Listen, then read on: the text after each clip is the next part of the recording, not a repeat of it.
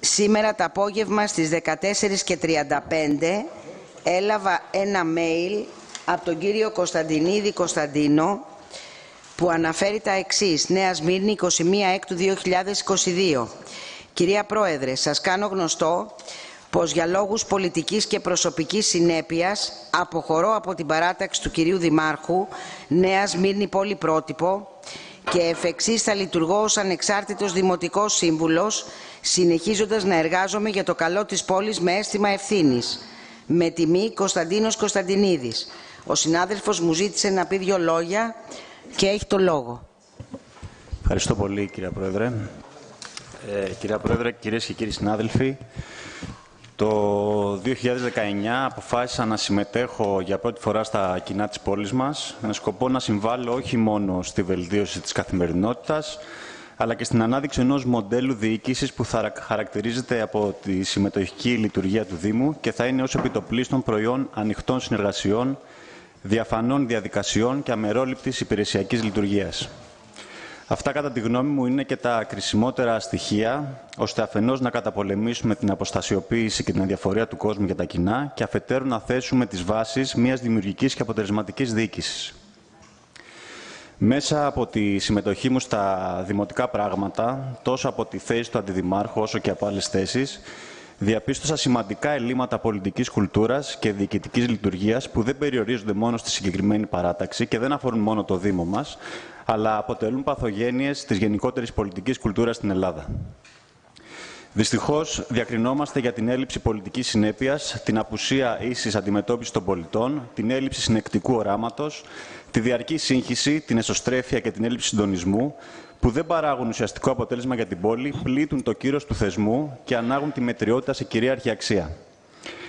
Για πολλούς από τους συμμετέχοντες σε αυτή τη δημοτική αρχή, η αυτοσυντήρηση και η παραμονή στην εξουσία έχει γίνει αυτοσκοπός και το δημόσιο συμφέρον έρχεται σε δεύτερη μοίρα και είναι ζητούμενο μόνο υπό συνθήκες ευνοϊκές για την επίτευξη των πρώτων.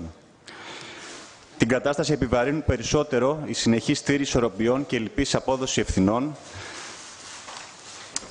με αποτέλεσμα παραπάνω να μας έχουν οδηγήσει σε σειρά λανθασμένων αποφάσεων, προσωρινών λύσεων και καθυστερημένων αντιδράσεων που πλήττουν την ποιότητα ζωής των πολιτών και δεν ευνοούν τη βιωσιμότητα και την ανάπτυξη της πόλης μας. Χαρακτηριστικά αναφέρω την αποτυχία μας στη στέγαση των υπείων, την άρνησή μας να παράγουμε προτάσεις για διαχείριση υπερδόμησης και του υπερπληθυσμού και την αδυναμία να στηρίξουμε ουσιαστικά και όχι φαινομενικά δύναμες ομάδες πολιτών. Αγαπητοί συνάδελφοι, η χάραξη πολιτικής ήθιστε να γίνεται από τους έχοντας τη λαϊκή εντολή και όχι από τα διορισμένα στελέχη. Πέραν τούτου, η διαχείριση του Δήμου γίνεται από μια κλειστή ομάδα ανθρώπων που κατέχει την πλειοψηφία των θέσεων και σε καμία περίπτωση δεν είναι προϊόν ουσιαστικού διαλόγου και συλλογικών αποφάσεων. Δεν ξέρω πώς σας φαίνονται όλα αυτά, κυρίες και κύριοι συνάδελφοι, αλλά στο δικό μου σύστημα αξιών, στη δική μου ηθική και στον τρόπο που έχω μάθει να ζω και να εργάζομαι, αυτά δεν αποτελούν τίποτα λιγότερο από ένα μεγάλο πρόβλημα που χρήζει λύσει. Θα ήμουν όμως άδικος αν τους έβαζα όλους το ίδιο τσουβάλι. Υπάρχουν στη Δημοτική Αρχή πρόσωπα ικανά, ανιδιοτελή, που προσφέρουν καθημερινά τα μέγιστα για το καλό της πόλης, όποια θέση και αν κατέχουν. Αυτά τα πρόσωπα άλλωστε γνωρίζουν την εκτίμηση και το σεβασμό που τους τρέφω και αποτελούσαν έως σήμερα ένα ισχυρό κίνητρο για τη συμμετοχή μου στη Δημοτική Αρχή. Για όλα τα παραπάνω, μετά από ένα σημαντικό διάστημα αποστασιοποίησης και αυστηρής αυτοκριτικής, για λόγους πολιτικής και προσωπικής συνέπειας, σας κάνω γνωστό πως εφ' εξής θα λειτουργώ ως ανεξάρτητος δημοτικός σύμβουλος με μοναδικό γνώμονα το καλό της πόλης όπως πάντα προσπαθούσα. Αγαπητοί συνάδελφοι, πιστεύω ακράδαντα στη συμμετοχή στα κοινά και στο ρόλο του ενεργού πολίτη. Η συνεργασία και η συμμετοχή αποτελούν κατ' εμέ υπέρτατε πολιτικέ αξίε και πρέπει να λαμβάνουν χώρα σε κλίμα ευπρέπειας και σοβαρότητας. Όλοι μας, όσοι πραγματικά ενδιαφερόμαστε για τη Νέα Σμύρνη, οφείλουμε την αναβάθμιση του πολιτικού διαλόγου και τη βελτίωση της ποιότητας των προτάσεών μας. Σας ευχαριστώ πολύ. Και εμείς ευχαριστούμε.